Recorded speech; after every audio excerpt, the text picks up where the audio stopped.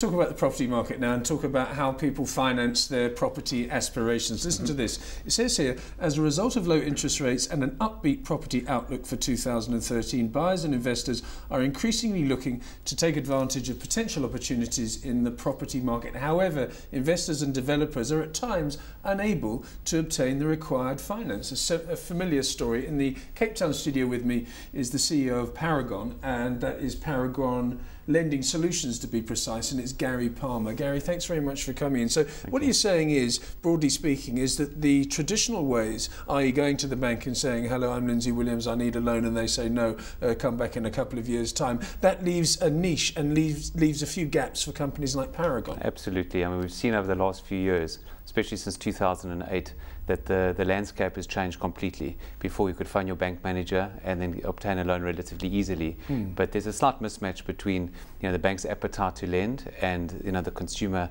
you know, willing to, you know, wanting to borrow money to purchase properties. Which is so, so strange, sorry to interrupt, given the rise of unsecured lending in South Africa. And yet this presumably is secured lending because the person that you're lending to has an income every month, otherwise he, wouldn't, he or she wouldn't get the loan, and yes. you're buying a fixed asset. Absolutely right. You would think it's more secure for the banks to be lending against with the first bond against the property. Uh, it's less about the security and more about the returns. Mm. Uh, Basel III has, uh, is obviously in play at the moment, and uh, it's caused huge pressure on the banks in terms of their margins. As interest rates are very low at the moment, you know, it's called the endowment effect. The banks aren't earning as much money on those loans as what they used to.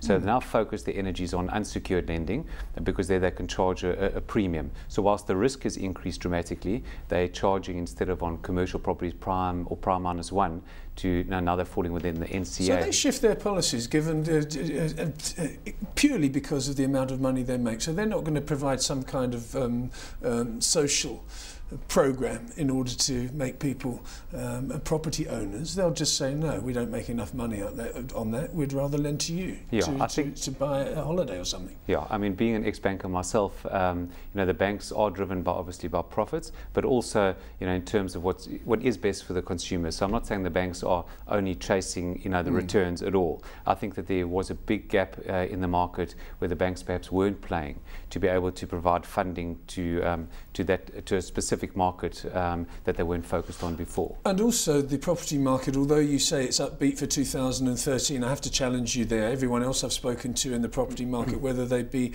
uh, people that are offering finance for houses or estate agents, they say we don't see any growth in 2013. And So maybe the banks there are therefore saying, well, if somebody defaults on their mortgage, there we're not going to be able to sell this at a profit. Well, a few points there. I mean, I think which area of the property market is doing particularly well. I think on commercial property, when you've got very strong tenants. Uh, everybody is chasing uh, those transactions, from the listed funds to the individual investors.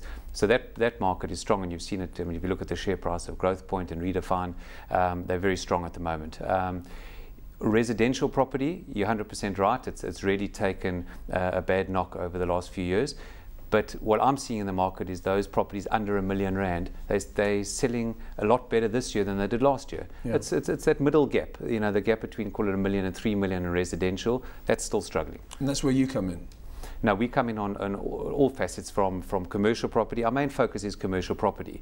Uh, the, the, the issue is that given all the regulations at the moment, which the banks have to comply with, we're finding that their turnaround time is just a lot longer than it used to be, and they are taking a little bit more of a conservative view. Um, so that's where non-bank lenders can now play a part in the market. A non-bank lender, so Paragon Lending Solutions. Can you tell us how your business works? Yeah, absolutely. I mean, we provide short-term to medium-term funding, um, 12 to 24-month funding, uh, secured by property to clients who are what we call uh, asset-rich but maybe liquidity they're just struggling at the moment. And what they're looking for is really a, a medium-term breathing space. Uh, Not a bridging loan.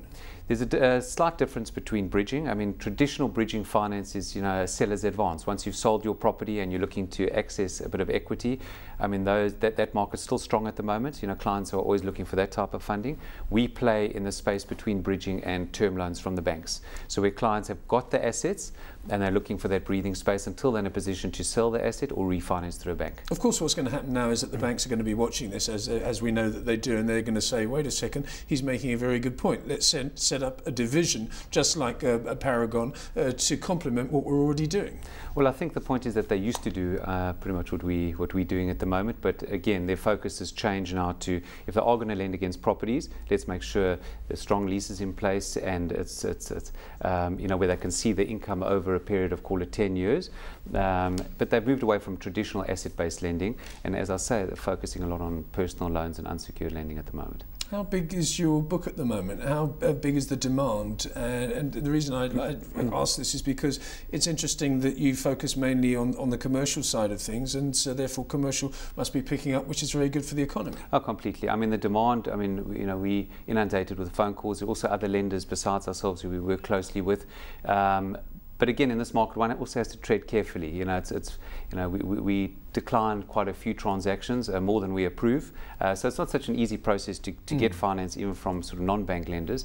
But the market, it's a very, very big market um, in terms of clients who, you know, who find a transaction, need the funding, need to move quickly. I mean, mm. our turnaround time is, you know, two weeks, and then the client's got a, a, a formal bank guarantee, which is. Sorry to interrupt again. Why mm. do they need to move so quickly? To me, if you're buying a commercial property, it's not something you just go out and say, "Oh, look, there's a nice factory there. Let's get it going." And if I don't get it going within a couple of weeks, then the, then the deal's lost. Yes, um, I mean, our market's divided into two. Those clients who've got existing assets at the moment, they would like to gear up those assets in order to enable them to fund their business or, you know, for any or fund another property property. So, so that's a big part of the market where clients have got existing assets. Mm. For those clients who are looking to buy a property, unfortunately, a lot of clients believe that they can get the funding from the bank relatively quickly. So they have, uh, you know, the, in terms of their agreement, 14 days or 30 days to issue formal bank guarantees.